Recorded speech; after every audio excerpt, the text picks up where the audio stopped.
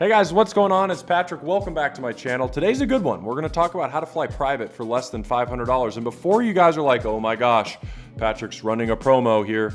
Patrick's talking about a company that sponsored him to say all this. I wanna let you know that SetJet, the company I'm about to talk about, did not pay me to do any of this. In fact, I paid to go on the flight. I did my own flights. I'll show you guys that stuff and I am a member of this company. Now, if you guys do are, are watching this SetJet and you do want to sponsor a video, you call me right up. I'm right here because your product is, uh, well, we'll talk about what I think it is today. So first things first, guys, I do want to talk about flying private. Now, obviously flying private, flying commercial, whatever, it's marginal in terms of time, but for a lot of people, it's, uh, it's about a couple different things. Number one, it's about the opportunity cost. You know, imagine a scenario where you're spending you know, you got to get down and back to an area and you need to get to a meeting and you're spending two or three hours in an airport with TSA, layovers. Then you finally get to the area, you finally board. It takes 45 minutes to board the plane. Then you get off and you got to go through the exit all the way through the airport again. You got to get an Uber, whatever it is. It does take some time. And for people that you know, schedule their day out, and they're people that are looking at their time based off their opportunity cost, Sometimes flying private is more economical. Now, I'm not trying to sit here and say that this is cheap by any means, but for the cost of a jet, typically $3,000 an hour, for this flight that I took, which cost under $500, I want to show you the experience that I had with SetJet. So first things first, I just want to walk you through SetJet and how my experience was. The first thing that happened is we walked into this great terminal, this white purple aesthetic. I was literally the only one in there. I was going with a business partner of mine to Vegas and uh, it was just us in there and they had water out for us snacks fridge tv we were greeted uh, by a great group of people and uh, after that we got sat with one other gentleman he was older he always flew on SetJet so i got to talk to him a little bit about you know the experience that he had and he seemed to really enjoy it um, and they took us from this terminal onto a golf cart in which we rode this golf cart just down the street on, literally through the gates onto the tarmac and actually running right next to the jet, which is super cool because it was my first time flying private in this case. And then uh, once we got on the jet, we were greeted with champagne, and it was just the three of us on the jet. The jet fit 16 people. This was a jumbo jet, really large jet. Uh, so we got on. We got to be able to, you know, have snacks, hang out, you know, sit where we wanted, relax, recline, the whole nine yards. So we flew down into Vegas got off, literally hopped right in the car. We had a car waiting for us in the terminal and went right to the uh, hotel. All in all, I was able to leave my house in Scottsdale, drive to the airport, which takes about 20 minutes, get on the plane 15 minutes later, fly for 40 minutes, land and get to the airport and checked in all in under two hours. It was a really fast experience, and that's just not possible with commercial. And uh, in this case, the next day, which this happened on a Sunday. The next day, Monday night, I flew back on Southwest. For an extra $100, for a total of 500, I was able to fly private. Obviously, airlines right now are getting more expensive, so that's marginal in the cost discrepancies now. It'll obviously be much more economical to fly commercial most of the time, but with COVID and shortages of workers, that's what's happening. So let me run you through this website really quick, if I can pull this up here and uh, show you guys my flight on SetJet. So this is my past flight. This is the flight I took. It was flight 21051673 uh, from Scottsdale to McCarran, which is Vegas, on Sunday, May 16th at uh, 12:15, and we landed at 1:15 or whatever the case was. As you can see, there's my passenger name, and that was it. That was the flight. Now I do want to talk about you know, booking a flight with SetJet. So if I were to go one way, and let's say I want to fly out on Friday in the morning from Scottsdale, it says we have a temporary airport closure. Um, so we're going to need uh, through early August. Please try a different airport in Scottsdale. So let's see, is there a different, Deer Valley, and let's go to Vegas. Please try late afternoon. So I'll try late afternoon, Deer Valley to Vegas. Sorry, this flight is sold out. So, this is actually good that this happened. This is my first uh, piece of, you know, my mind on this. First of all, was the experience great? Uh, absolutely. The experience was great with SetJet. The experience that I had, the way I was greeted, The ease of everything was fantastic. However, when I'm talking about a review and being honest and transparent for like a 0 to 10 rating, 0 meaning I'm not going ever again, 10 meaning this is perfect of the perfect, that's what I'm taking into account. The experience, A1, 10. Now, coming back into this, this is what I find from time to time. If you're trying to fly out in the next week, it's it's pretty tough to do so. But let's say I want to fly out at the end of July, early afternoon from Deer Valley to, you know, McCarran. Uh, it says please try late afternoon. So let's see, that must be when the flight's taken off. At say 4:05 with no additional members. Boom, that works. So I just set up my flight for Friday, July 30th. I can hit continue and boom, I can go through all of this and it'll show me what it'll cost. So the fare is 340, my taxes and all that sort of stuff, 466.40, and that is getting literally on a private jet. Now, this kind of comes into my review of this. First of all, I do like the website. It's fairly easy in order to book. It's fairly easy on all this sort of stuff. But the one thing that's troubling is the fact that there's just not unlimited availability. This is not commercial.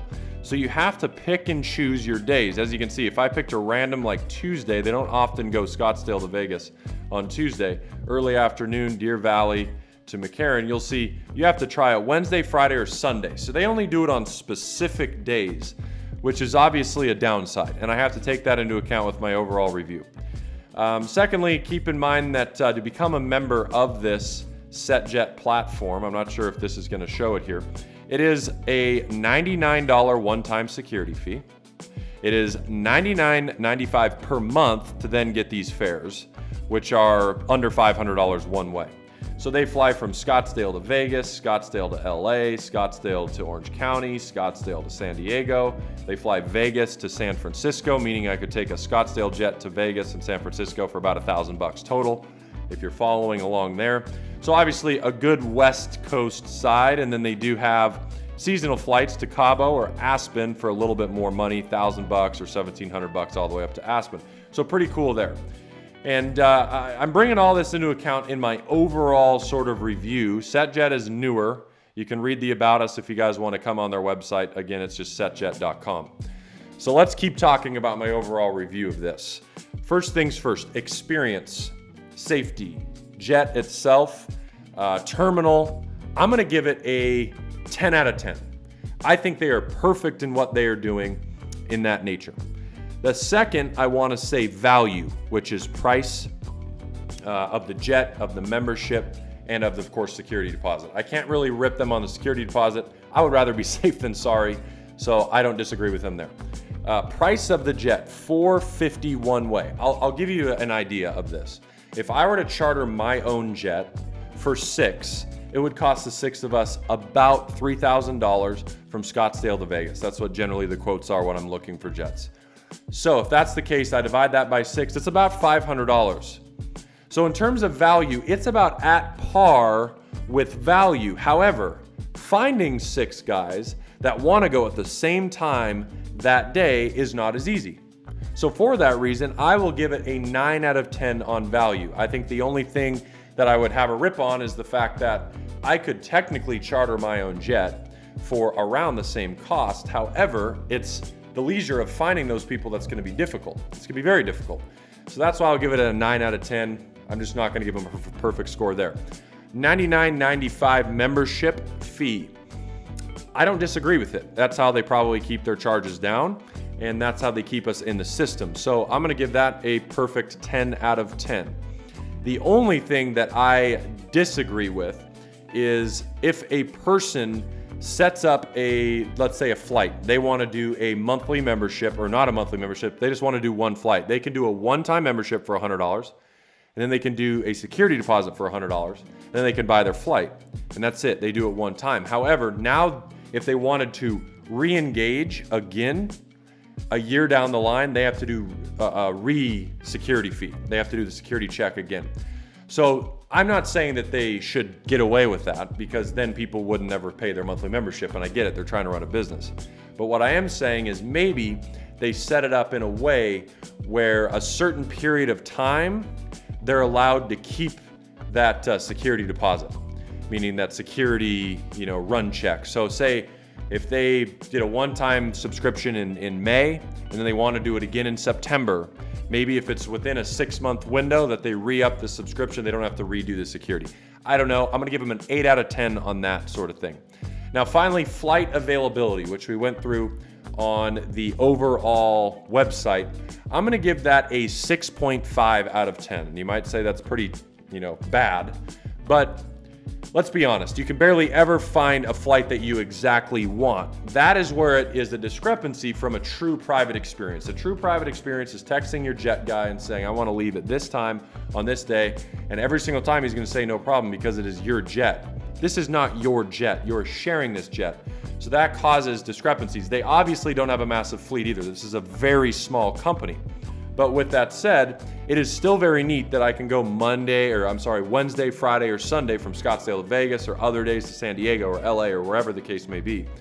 But with that also said, I do got to keep in mind that um, it's very often that you're running into some sort of issue, whether the flight was full, or you need to go at a different time, or it's not available that day. Very often, in fact, more often than not, you're going to run into that. And for those reasons, I'm going to give it a six and a half out of 10 on availability. So, with all of that said, drum roll please.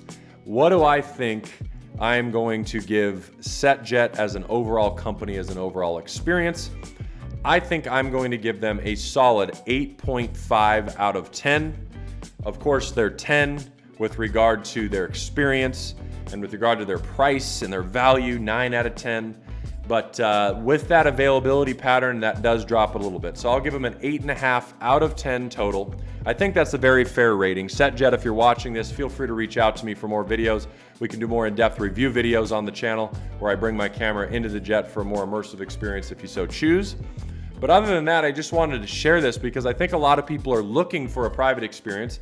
Unfortunately, this is only in the West, which does lead back into that six and a half rating. There's not a lot of other membership options. Would love to see them open up places like Utah and Texas and all that sort of stuff. And I'm sure as they grow, they will. Uh, but they only have so much marketability here in the West. So we'll see how that goes. But overall, I did ex uh, experience what I thought was a great experience, and I did love what I had. And uh, I'll let you guys kind of chime in in the comments what you think. So if you guys do uh, want to get into SetJet, be sure to give them a call and let them know Patrick Kenney sent you. And uh, if you're in Scottsdale area, Vegas area, um, you know, San Diego, whatever it is, be sure to give them a call, set it up that way, let them know Patrick Kenney sent you, and I'll be greatly, greatly appreciated for that because they will eventually give me a free flight, I think after five people say that. So you know, God knows if that'll ever happen, but if it does, I appreciate you guys so much for just stating my name, okay? So with that said, hopefully this was a very transparent review of my experience. I did enjoy SetJet, and uh, I will be flying SetJet again, and I hope you guys enjoyed this. Please hit the like button if you want more videos like this, click the subscribe button, and I will see you guys on the next video.